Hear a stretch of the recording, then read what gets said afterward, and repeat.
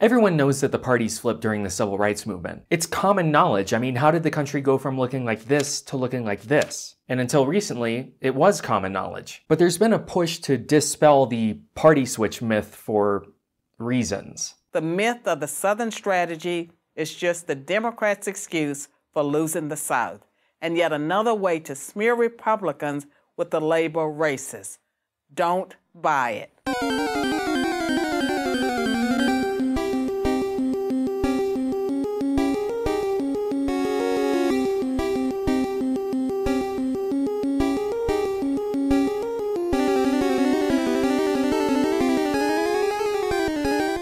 This video is brought to you by Skillshare. So this is the situation we're starting with. Democrats in blue, Republicans in red. This is what the country looked like at the end of Reconstruction. Republicans were dominant in the North and West, and Democrats in the South. Lincoln was a Republican, and the states which formed the Confederacy were mostly Democrats. So yes, it is true that when the KKK was formed, they supported the Democratic Party. But to say that Democrats started the KKK is a bit of a stretch. It's like saying Republicans started Unite the Right. Wasn't the KKK part of that? During the era of Reconstruction, federal troops stationed in the South helped secure rights for the newly freed slaves.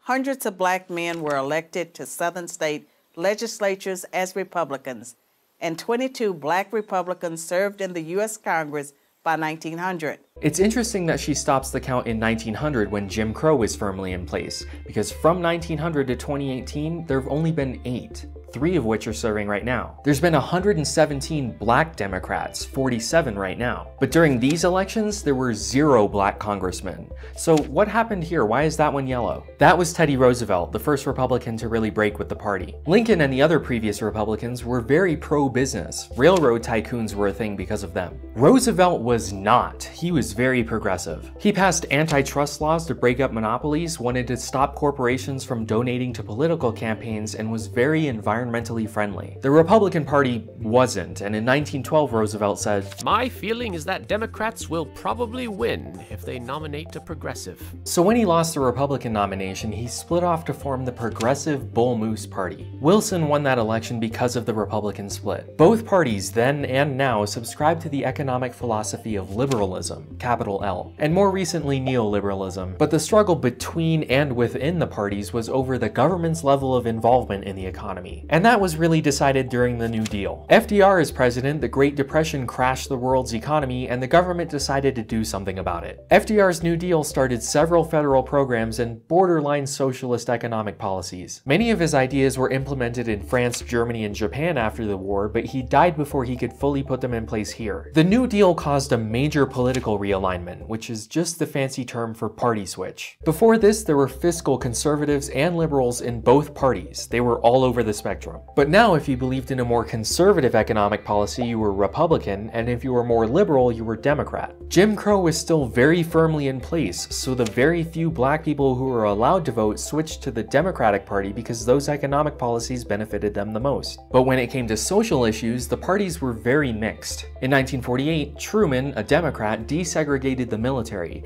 and Hubert Humphrey gave a speech at the Democratic National Convention. The time is now arrived in America for the Democratic Party to get out of the shadow of states' rights and walk forthrightly into the bright sunshine of human rights. This made the Southern Democrats so mad that they split off to form the States' Rights Democratic Party, more commonly known as the Dixiecrats, nominating Strom Thurmond for president. Keep an eye on him, I think he becomes important later. The Dixiecrats later rejoined the rest of the Democrats, but still lost to Eisenhower in 1952. Won the southern states of Tennessee, Florida, and Virginia. And in 1956, he picked up Louisiana, Kentucky, and West Virginia too. You know, when she has it listed like that, it sure looks compelling, but when you look at the maps, it tells a different story. This is the solid South, the idea that they almost always vote together. Eisenhower, despite being a huge war hero, was very much anti-big military, fearing what he called the military-industrial complex, corporations profiting off of a perpetual state of war. The Founding Fathers were also against the idea. There are two amendments in the Bill of Rights addressing it. The Second Amendment created state militias because they wanted that to be the country's primary defense defense rather than a standing federal army. And then there's the Third Amendment, the one everyone forgets, regarding the quartering of troops. Eisenhower was a Republican against having a big military, which was kind of the norm at the time, but he was also the general who defeated Hitler, so he was incredibly popular. These are the maps I want you to remember because this is the beginning of the civil rights movement. Technically, it started in 1954 when Brown v. Board of Education decided that separate was inherently not equal and ordered all public schools to be desegregated. Rosa Parks and the Montgomery bus boycott happened a year later. In 1956, the Dixiecrats, headed by Strom Thurmond and Richard Russell, wrote the Declaration of Constitutional Principles, more commonly known as the Southern Manifesto, declaring that Brown v. Board of Education was a clear abuse of judicial power and that states' rights should be the official platform of the Democratic Party. Three Southern Democrats refused to sign it, including LBJ and Al Gore's dad. The Dixiecrats were part of the Democratic Party, but if it helps, you can think of them like the Tea Party being part of the Republicans. Part of it, but an extreme wing of it. And mm. while the parties were pretty solid in their economic ideas after the New Deal, they were still split on social issues. More often than not, the Dixiecrats teamed up with socially conservative Republicans and defeated over a hundred civil rights bills. In 1957, Eisenhower signed the Civil Rights Bill of 1957. Look, there's going to be a lot of these and they're all named the same, so get used to it. This was the first major dismantling of Jim Crow. Prior to this, you could only serve on a jury if you were registered to vote, and almost everyone registered to vote was white. So white perpetrators of lynchings tended to not get convicted, while black people were almost always convicted of whatever they were accused. The new law made it so that federal jury selection was no longer tied to state voter rolls, and set up several commissions to investigate what future legislation might be necessary to ensure equal rights, including voting. The Civil Rights Act of 1960, which outlawed poll taxes and other racist measures meant to keep blacks from voting? What? No, it didn't. The 24th Amendment did that. That's literally the only thing that amendment is about. Look, I don't expect you to know what every civil rights law did, nor do I expect you to know all 27 amendments. But you're not a professor of political science attempting to teach people the truth about the civil rights movement.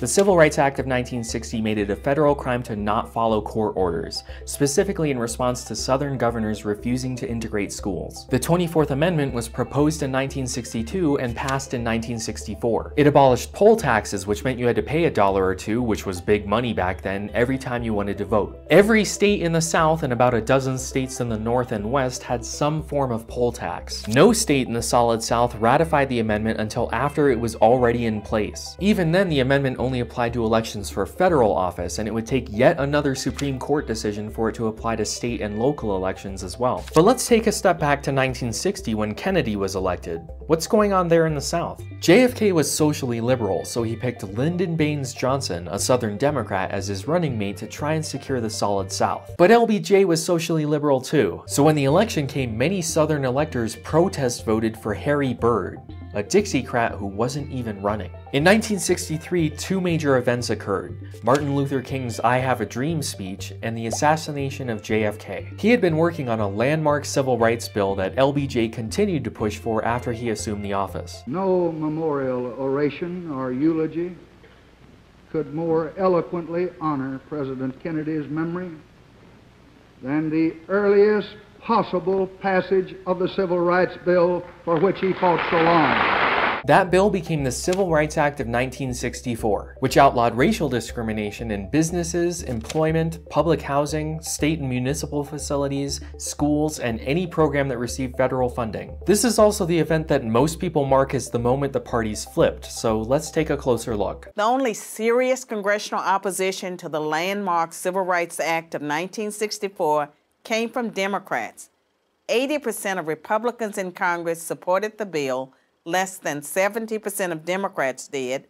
Democratic senators filibustered the bill for 75 days until Republicans mustered the few extra votes needed to break the logjam. Most everything she said there is true, or at least based in truth, but it doesn't tell the entire story. This debate wasn't between Democrats and Republicans, it was between social conservatives and social liberals, which for the most part meant the South versus everyone else. Most of the serious opposition to the bill came from Democrats because most of the Southern congressmen were Democrats. Southern Republicans, who were part of the conservative coalition, also opposed the bill and participated in the filibuster. No one ever seems to agree on how long the filibuster lasted lasted. It really comes down to whether or not you count weekends when the Senate wasn't in session. It was the longest filibuster in US history and lasted from March 30th to June 10th, which is 72 total days. The bill was finally voted on on June 19th, making it 81 days. So whether you count weekends or the time after the filibuster was broken, you can end up with answers ranging from 60 to 80 days. Republicans didn't break the filibuster, at least not alone. It was a combined effort from LBJ, Hubert Humphrey, and Republican Everett Dirksen, an event dramatized by the HBO movie All the Way, which I highly recommend. So how did the votes break down? If you do it by party, she's correct. 80% of Republicans in Congress voted for the final version of the bill, and only 64% of Democrats. But when you divide the votes by region instead, you see a completely different story. We're going to consider the South to be any state that was part of the Confederacy. Northern and Western states voted 90% in favor of the bill, while Southern states only voted 7% in favor. But we can break this down even further. Democrats in the North and West voted in favor by 95%, while Republicans voted in favor 85%. And here's where it gets interesting. If you were a a Dixiecrat, that is, a Democrat from the South, there was only an 8% chance you voted in favor. And if you were a Southern Republican, there was a 0% chance you voted in favor. This bill was not decided by Democrats versus Republicans. It was the South versus everyone else. So here we are at the beginning of the civil rights movement, and here we are in 1964. LBJ won the election but lost the South to Barry Goldwater, a Republican who voted against the Civil Rights Act. How did everything flip around? PragerU likes to paint the flip that didn't happen as black people deciding to vote Democrat. If black people are going to vote, they might as well vote for Democrats, as President Lyndon Johnson was purported to have said about the Civil Rights Act. I'll have them voting Democrat for 200 years. Forgetting for a moment that even Dinesh D'Souza says that black people switched to the Democratic Party during the New Deal, that's a pretty inflammatory statement. And you know where it comes from? It's not on tape, he didn't say it in public. It comes from a 1993 interview with a flight attendant on Air Force One who says he overheard LBJ say it 30 years earlier. That's an ironclad bulletproof source. So was the black vote really able to change the map this much? No, of course not. While 96% of them voted for LBJ, only 5.5 million African Americans were able to vote in that election, which is a huge improvement over previous elections for sure, but not enough to sway the results. LBJ won by 15.6 million votes while still losing the South. The Democratic Party just lost the South for the rest of my lifetime, and maybe yours. That quote, often used by Democrats, is also very poorly sourced. Southern Democrats, angry with the Civil Rights Act of 1964, switched parties. Fact Of the 21 Democratic senators who opposed the Civil Rights Act, just one became a Republican. That one was Strom Thurmond. I told you he'd be important. She leaves out the House where there were two more, but that doesn't matter. It wasn't the politicians that changed, it was the people. While the South did overwhelmingly vote Republican for the first time in history, states like California and New York also switched. In 1965, the Voting Rights Act was put in place, which made it a federal crime to obstruct anyone's ability to vote, and also got rid of literacy tests, put in place by the Dixiecrats in order to stop black people from voting. You might be thinking that it makes sense that if you want to vote, you should know English, but that's not what the literacy test was. Write down the Bill of Rights, please. All of them. From memory. In 1968, they passed the Civil...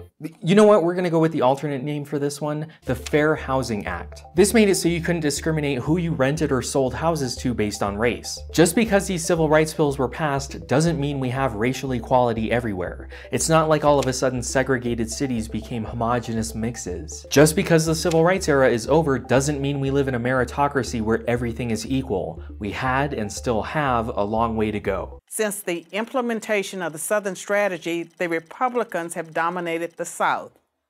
Fact Richard Nixon, the man who is often credited with creating the Southern Strategy, lost the Deep South in 1968. She makes a compelling argument until you look at a map and realize that he didn't lose to the Democrats. The Dixiecrats yet again split off to form a third party. He was running against this guy in the South. And I say segregation now segregation tomorrow, and segregation forever, forever, forever, ever. Forever, ever? Nixon still won that election and in 1972 won the South. This is when the second political realignment occurred, when social conservatives shifted to the Republican Party and social liberals shifted to the Democrats. Nixon employed the Southern strategy to win over social conservatives. And the thing is, both PragerU and Dinesh D'Souza say it happened. They just disagree with why it happened. Why does the South now vote overwhelmingly Republican? Because the South itself has changed. Its values have changed. The racism that once defined it doesn't anymore. Sorry. In an article that might as well be titled The Switch That Never Happened Why the Switch Happened, Dinesh D'Souza writes Nixon appealed to these peripheral South voters not on the basis of race, but rather on the basis of Republican policies of entrepreneurial capitalism and economic success. He just described this Southern strategy, not winning over white Southerners by appealing to their racial hatred, but by using dog whistle politics. According to Lee Atwater, a Republican strategist and later chairman of the Republican National Committee, Y'all don't quote me on this. You start out in 1954 by saying n- n- n- By 1968, you can't say n- That hurts you, backfires. So you say stuff like forced busing, states' rights, and all that stuff. You're getting so abstract now that you're talking about cutting taxes and all these things. You're talking about totally economic things, and a byproduct of them is that blacks get hurt worse than whites. you don't say seg- Segregation now, segregation tomorrow. you say forced busing is an assault on our Constitution and states' rights. Most people will hear the constitutional or economic argument and might even agree, but this guy? He just doesn't want black kids in his school. Reagan was famous for using the term welfare queens, and despite the fact that plenty of white people are on welfare, we all picture the same thing. The Democrats did it too. The Clintons often used the term urban violence or urban gangs. They didn't say it, but we're all picturing it. The Southern strategy is pretty well documented, and even Dinesh D'Souza agrees that it happened. He just doesn't agree that the policies were racial dog whistles. And I've said this before, but that's kind of the point of a dog whistle, that you can deny that it's a dog whistle. We all agree that Nixon used economic policy to win over the South. In contrast, Democrat Jimmy Carter nearly swept the region in 1976, 12 years after the Civil Rights Act of 1964. Yet again, she's leaving out pretty crucial facts. Nixon was the first president to resign in disgrace and left the Republican Party in shambles. Furthermore, Jimmy Carter was a Southern Democrat. It's extremely rare for someone to lose the region they're from. But then Reagan was elected, a Democrat who switched to being a Republican in 1962. I didn't leave the Democratic Party. The Democratic Party left me. He's referring to the fact that the Democratic Party moved left on social issues during the 60s, while the Republican Party moved right, which caused a major political realignment or flip. In fact, almost everyone in Congress who ever switched parties went from Democrat to Republican. There's also a weird trend in where these people are from. But you also might notice that the majority of politicians who did so, did so during the 80s and 90s. On average, those 20 seats didn't go Republican for another two and a half decades. Republicans didn't hold a majority of Southern congressional seats until 1994, 30 years after the Civil Rights Act. I like that she says on average there, because while some of them, like Al Gore's dad, were replaced immediately, others took 40 years or more. So when she averages them, she can make them all seem like they took decades. But there is a noticeable lag between how the South voted on presidential elections and how they voted congressionally and on state and local elections. And explaining that lag is something people devote their entire academic careers to. I guess that's my cue. Hey everyone, my name is Peter Licari. I'm a PhD student in political science specializing in political behavior and psychology, and I'm also the host of the Professor Politics YouTube channel. So after decades of research, political scientists have largely settled on a few different reasons for why this happened. These reasons include generational replacement, the Republicans' embrace of socially conservative positions, but they also include race. We know from decades of research in political science that the most stable and enduring political attributes people have, in the aggregate, is their party ID you know, whether or not they identify more with the Democrats or Republicans. And their IDs is also the most important predictor for how they're going to vote, largely for two reasons. First, people tend to vote for their in-group and will only rarely deviate from that when very pressing issues are on the table. And second, because people use it as a heuristic when voting for candidates that they otherwise know very little about. For whites of the Democrats of the 1960s, race was absolutely one of those things, but because party ID is so stable, only a small percentage of them changed sides immediately, with those who did tending to be younger and more politically active. They did, however, start voting Republican more frequently in national campaigns. State and local races, though, are low information environments. Think about it. Do you know who your state rep is, your agricultural commissioner, who your mayor is? Do you even have a mayor as opposed to a city council? So these Democrats would use their party ID as a heuristic, giving the Democratic Party a boost on the local level. At the same time, Republicans were accelerating a push to the right socially that they had been doing since the 1950s. In the 1970s, a number of other polarizing social issues came to the fore, including abortion. These joined race under the umbrella term of states' rights, a platform championed by the GOP promising social conservatives a way to maintain the status quo on several social issues, including, as mentioned earlier, racial segregation. At least at its inception. By the 1980s, the Republican Party no longer considered segregation a legitimate states' rights issue, but they continued to use the label for other issues. This continuation meant that the term would appeal to ordinary social conservatives who found racism appalling, while also appealing to those who remembered the original racial connotation attached to the term. And while all this is happening, you have millions of people coming of age in the South, growing up socially and religiously conservative. But unlike their parents and grandparents, they didn't have an attachment to the Democratic Party label. They started identifying with the party that was closer to their positions, which was now, unquestionably, the Republicans. And when their conservative Democratic parents and grandparents started passing away, they became an increasingly powerful voting bloc in the South. Just as their parents would vote Democrat on low valence races, they would vote Republican. And local and state level politicians, as well as party activists, responded to the pressures of this shift, fielding more conservative candidates under the GOP label. Now, it's important to note that scholars are still debating over the relative import of these and other mechanisms, but what is clear is that the South flipped party IDs, at least on the social dimension, and that one of the primary catalysts to this was race, even if it took a long time for that to be felt in the electorate. Nobody, whether it's me, Professor Politics, PragerU, or Dinesh D'Souza, denies that the South went from voting like this to voting like this. And it's pretty clear that something happened in the 60s and 70s to cause that. Did the Republicans and Democrats completely abandon their platforms and switch? No, but they did swap several planks within their party and across parties during several key realignments. The Ship of Theseus is a thought experiment where you take a boat and you swap out several planks until you have an entirely new boat. At what point did it cease to be the original boat? Now imagine you have two boats swapping planks between them. Teddy Roosevelt wanted the government to be anti-big business and pro-environment. Nixon was the one who created the Environmental Protection Agency. But in the last presidential election, every major Republican candidate wanted to abolish the EPA. The Democrats adopted states' rights as their platform with the Southern Manifesto, but the Republicans are the states' rights party today. Eisenhower was against a large standing federal army, while Trump is... I am the most military based and the most militaristic person on your show. The KKK was founded to support Democrats, and the Democrats put many Jim Crow laws in place that denied minorities the right to vote. But who does the KKK overwhelmingly support today, and which party is pushing for voting policies that disproportionately affect minorities? But you might be thinking, all that's in the past. What have Republicans done for women and blacks lately? The answer you'd hear from professors, journalists, and celebrities is not much.